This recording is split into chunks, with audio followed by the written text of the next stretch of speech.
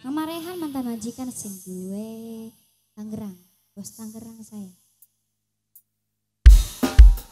Back on